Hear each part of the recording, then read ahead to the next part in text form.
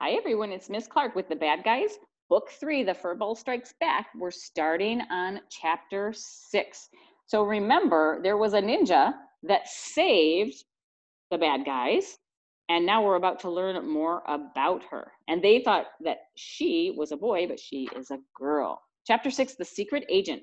Who are you? My name is Special Agent Fox, Mr. Shark, and I'm very pleased to meet you. I'm afraid you boys have stumbled into a very dangerous situation. Dr. Rupert Marmalade is one of the most despicable villains on the face of the earth.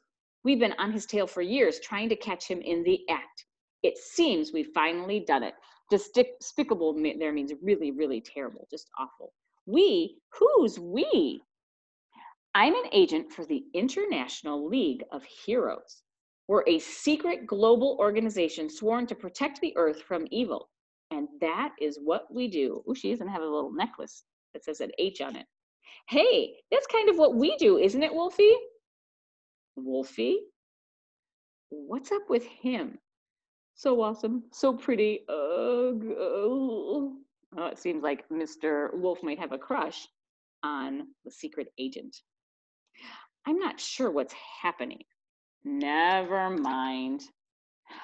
We are the uh, uh, Good Guys Club, Agent Fox, at your service. The Good Guys Club? Is that what you call yourselves? Yep. We sat up all night trying to think of the stupidest name in the history of stupid names, and bam, there it was.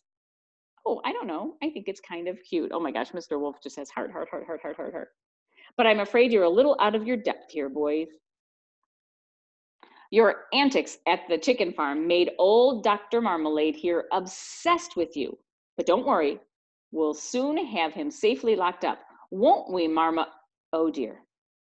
Has anyone seen where the supervillain went? Right here, Agent Fox. Whoops, that's unfortunate. And I do hope you enjoy the end of the world. uh oh, it looks like he's getting ready to push that button. My secret weapon has been released and it's on its way. Can you guess what it is? oh, and just to make things a little more interesting, this building will self destruct in 90 seconds 89, 88, 87, 86. Okay, so something has been released, a secret weapon. It looks like Dr. Marmalade is flying up through this tube and now this building is going to get ready to destroy itself. Hmm, the old disappearing up a great big bendy tube trick. That's disappointing. 76, 75, 74, 73. Well, the building is about to blow and we have seconds to live. Any ideas, gentlemen? Oh, it looks like nobody has an idea. Let's keep reading. That was a short chapter. Learning to ride a bike, chapter seven. Aha, there's a stroke of luck. Motorcycles. 60. Oh my gosh, they have only 60 seconds now. That's one minute. 59, 58, 57. Climb aboard, everyone, and I'll get you out of here. We won't all fit on one motorcycle. Hmm, you could be right. I don't suppose any of you can ride one of these. Yep, you can? Yeah. Really? Yeah okay, I think maybe Mr. Wolf is not telling the truth. I think he's trying to impress Agent Fox. And I think he's never maybe ridden a motorcycle before. Marvelous. Well, you take Mr. Snake and I'll get the others to safety. Good luck, Mr. Wolf. Oh, she gives him a little kiss on the cheek. Peck. Oh, and he's got hearts in his eyes. Oh my goodness. 32, 31, 30. They only have 30 seconds left. That's half of a minute. 29. We'll see you outside, gentlemen. Rev, rev. So, Agent Fox is taking Mr. Piranha and uh, Legs and Mr. Shark. There's Legs. There's Mr. Shark. And Mr. Wolf is left with Mr. Snake. Bye! I didn't know you could ride a motorcycle. Hmm. I didn't know either. What? Well, how hard can it be? 26. 25, 24. Why did you say you could? I just didn't want to disappoint her. You know what? What? Let's just put the pedal to the metal. Oh my gosh, it looks like he's popping a wheelie. I don't think he's doing that on purpose. Looks like Mr. Snake is about to fly off. Uh-oh. Arg! What are you doing? It's not on purpose. Oh my gosh, now he's upside down. Wow, you have a very unusual style, Mr. Wolf. Very impressive. But I'm afraid things are going to be a little more difficult than we thought. Hmm. Oh, really? Why is that? He's completely upside down still. Laser cannon. Remember there was a laser cannon that uh, blew up their car?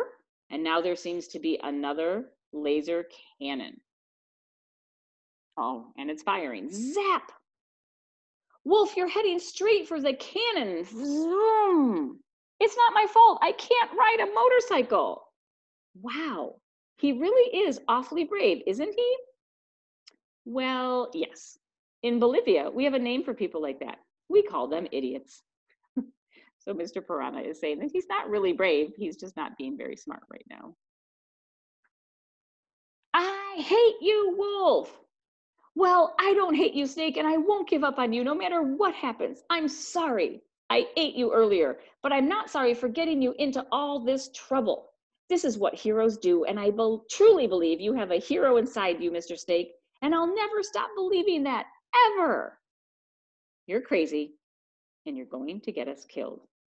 Maybe, but not today.